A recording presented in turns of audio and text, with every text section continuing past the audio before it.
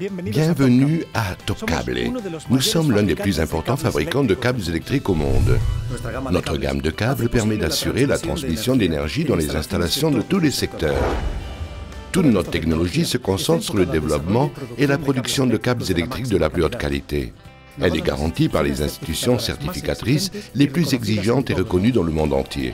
Dans ce vidéoblog, nous allons vous expliquer comment est fabriqué un câble électrique.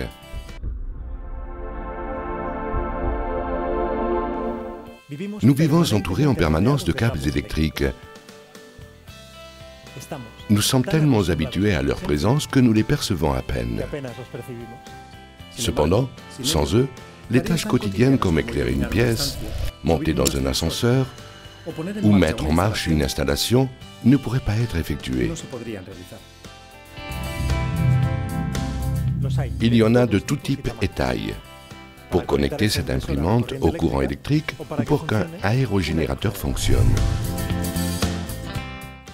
La technologie dont on a besoin pour qu'un câble électrique puisse être en service durant de nombreuses années exige des procédés de fabrication complexes qui demandent du personnel hautement qualifié. Souhaitez-vous savoir comment se fabrique un câble électrique? Accompagnez-moi.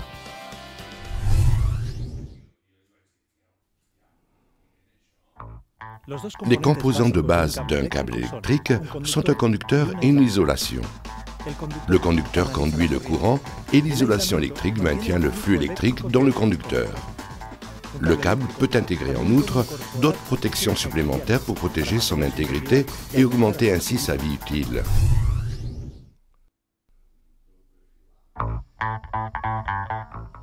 Le matériau le plus utilisé pour fabriquer le conducteur d'un câble électrique est le cuivre.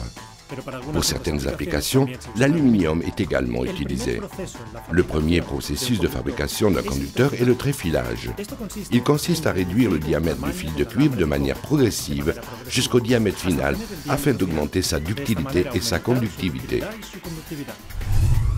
Le cuivre arrive de la fonderie aux usines de Top Cable dans de grandes bobines de 5 tonnes. Ce cuivre de 8 mm de diamètre est appelé techniquement film machine. La première étape du tréfilage est appelée dégrossissage. Dans ce processus, le diamètre du fil machine est réduit jusqu'à 2 mm. À partir de ce fil de 2 mm, on entre dans le tréfilage fin, où le diamètre du fil de cuivre est réduit jusqu'à la mesure du fil défini pour chaque type de conducteur. Dans la dernière étape du tréfilage fin, tous les fils sont soumis à un traitement thermique appelé recuit. Le but de cette étape est d'augmenter la ductilité et la conductivité du cuivre.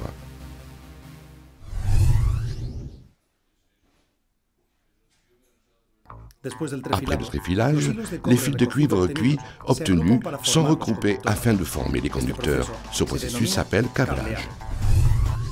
Dans le câblage, on compose des conducteurs avec des sections très différentes. Par exemple, aussi bien une section aussi petite que 0,5 mm que d'autres de 240 mm, 400 mm ou plus, pour des circuits de grande puissance. En fonction de la section de chaque conducteur, les câbleuses utilisées dans le processus varient. Le processus suivant de la fabrication d'un câble électrique est l'isolation.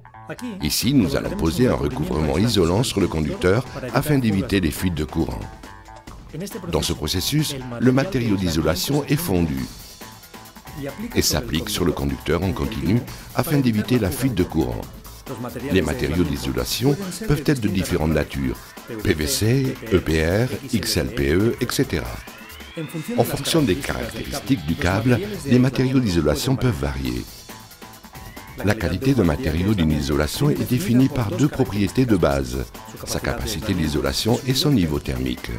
La capacité d'isolation du matériau et son épaisseur détermineront la tension maximale de service du câble.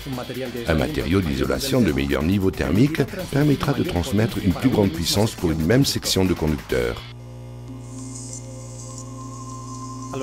Toute la longueur du câble est soumise à un contrôle de voltage afin de garantir que la couche d'isolation ne présente aucun défaut.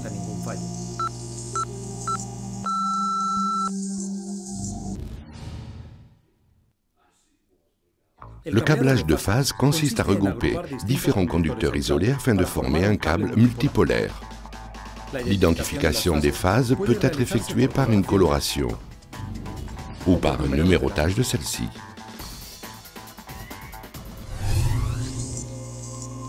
Dans ce processus est également effectué un contrôle de voltage sur toute la longueur du câble fabriqué.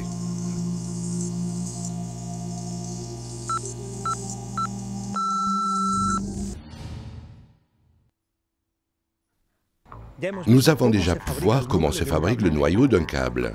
Néanmoins, dans certains cas, des éléments supplémentaires peuvent être requis afin d'améliorer le degré de protection du noyau. Donc, les câbles intègrent des protections métalliques, qu'elles soient électriques ou mécaniques.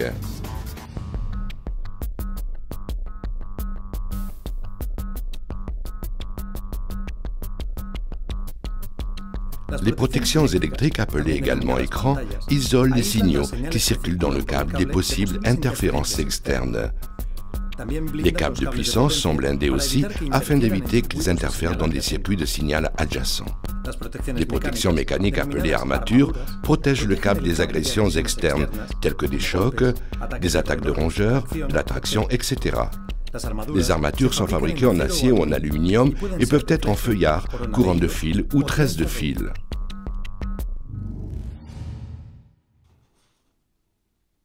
Souvent, les câbles portent un recouvrement polymérique extérieur pour leur protection. C'est ce qui s'appelle enveloppe extérieure.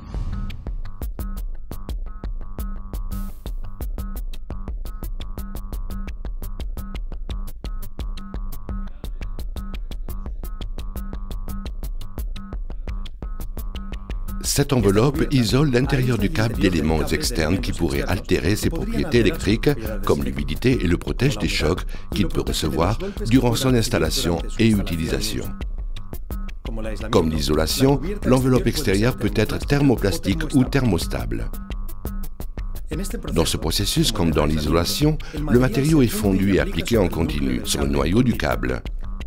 Le matériau de l'enveloppe peut être de nature différente en fonction du degré de protection requis, de la souplesse finale du câble, de l'environnement de travail, etc.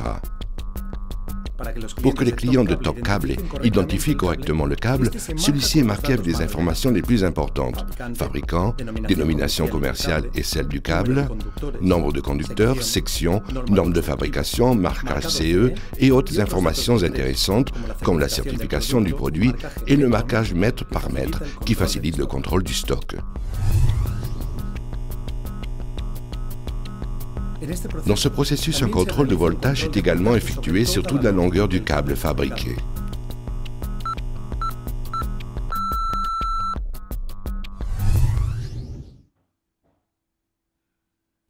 Nous avons déjà complété le processus de fabrication d'un câble électrique, mais le processus n'est pas encore achevé. Top Cable vérifie la qualité de tous ces câbles en effectuant des contrôles rigoureux avant sa commercialisation. Afin de garantir les hautes exigences de qualité requises par les clients de Top Cable, les câbles sont soumis à un contrôle parfait de qualité dans ces laboratoires. Ainsi, nous garantissons que tous les câbles sont dépourvus de défauts et prêts à être commercialisés. Les systèmes de garantie de qualité, homologués conformément à la norme ISO 9001 et appliqués dans toutes les étapes du procédé de fabrication, permettent d'assurer un fonctionnement parfait du câble.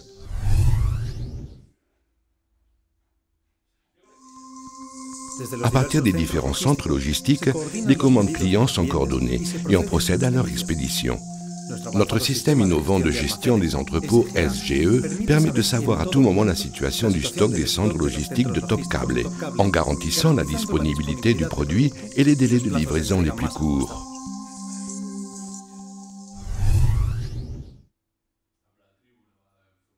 Dans tous les centres de production de Top Cable, nous avons établi des systèmes de recyclage des résidus produits durant le processus de fabrication d'un câble électrique. Tous les résidus, aussi bien provenant de câbles imparfaits que de ceux produits durant le processus, sont confiés à des entreprises spécialisées qui les gèrent en les récupérant ou en les éliminant de façon inoffensive dans leur totalité. Ainsi, nous garantissons que l'impact de notre activité industrielle sur l'environnement se réduise au minimum.